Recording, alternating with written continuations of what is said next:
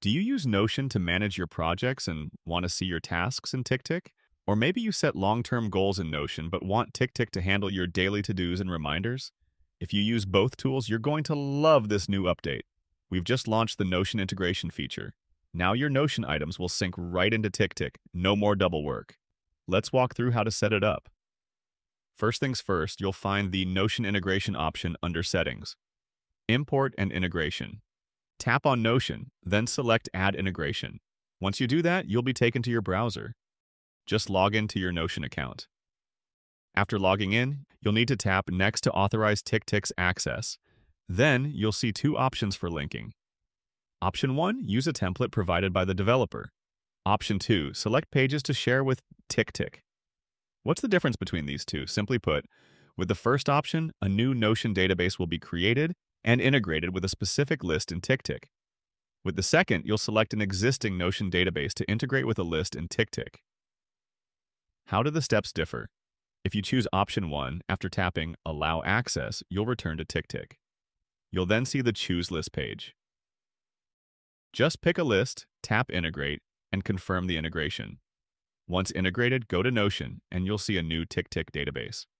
The checkbox, name, date, and description properties in Notion will match the task fields in TickTick. If you choose Option 2, tap Select Pages and pick the pages you want to give TickTick access to. Important. TickTick can only link to pages you've granted access to. Make sure the pages you want to integrate are checked. Then tap Allow Access and return to TickTick. You'll be taken to the integrated content page. Now, select the content in Notion you want to integrate with TickTick. Tap Choose List and choose Database to select the list and database you want to integrate. Once you've selected your options, hit Next to move on to Integrate Properties. Here, you'll match TickTick's task date, description, and status with the corresponding properties in your Notion database. Tap the Task Date option, and a pop-up will show all the date type properties you've added in your database. Select the property you want to display as the task date in TickTick. For task description, choose a text type property. For task status, pick a status, checkbox, or select property.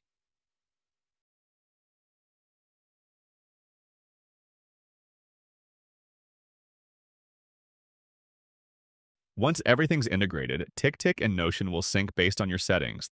The first sync will grab the last 200 edited items. Any new tasks, changes to task names, or deletions will sync both ways.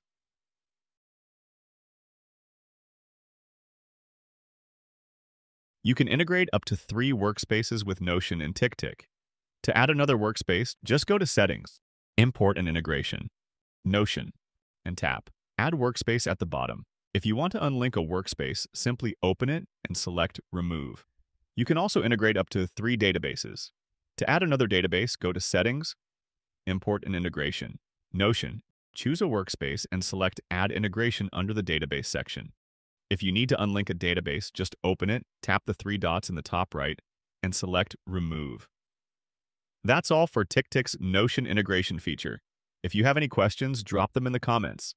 If this video helped you out, don't forget to like, subscribe, and turn on notifications for more updates. See you next time.